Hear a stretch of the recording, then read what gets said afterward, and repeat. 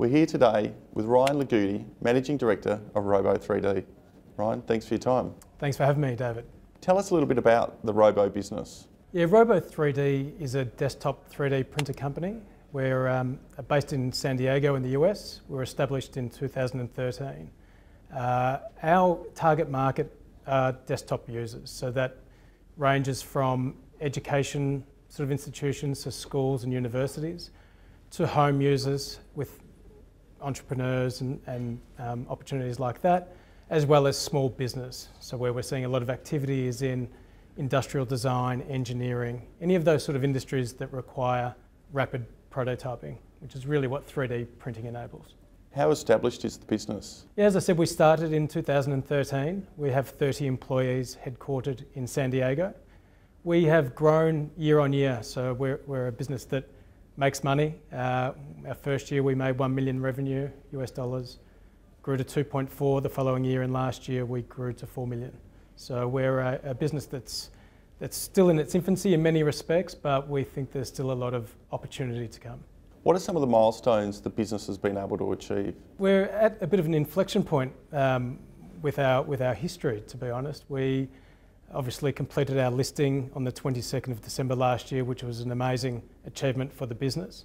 Uh, coinciding with that, we released the first of two new products, the Robo C2, which is our entry-level 3D printer, which is priced at 799 US dollars. That was a fantastic achievement in itself, bringing a product to market. Um, the next achievement in chronological order was the announcement that we are partnering with Foxconn to manufacture our next printer, which is the Robo R2. For those who don't know, Foxconn are the contract manufacturer for Apple, Amazon, Nintendo, and all of those iconic consumer electronics brands. So for Robo as a small business with 30 people, it's, an exciting opportunity for us. We're their only partner in 3D, and we think um, obviously partnering with them and the quality and expertise they bring to the table, along with their scale, uh, that sets us in really good stead for the growth that's set to come. What milestones should investors be focused on over the coming months? Yeah, the immediate milestone will be the release of the Robo R2, which is a really exciting product launch for us. It's due to be released in the next couple of weeks. We've undertaken a soft launch, so we've been receiving quite heavy demand and pre-orders for the R2, and we're looking forward to delivering that product to customers. Beyond that, 2017 is really about building on the foundations that we laid in 2016, and that's expanding our footprint within our US retail customer base with the addition of an, an additional product, along with international expansion, where it's all greenfield for us, all incremental revenue throughout 2017 from international markets.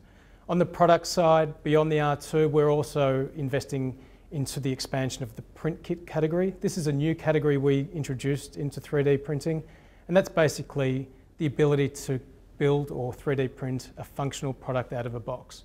And the, the major product we've got at the moment in that, in that particular product set is the drone. And that's basically a project kit. You get all the electronics included in the box. You can design, customize, print, and fly your own drone.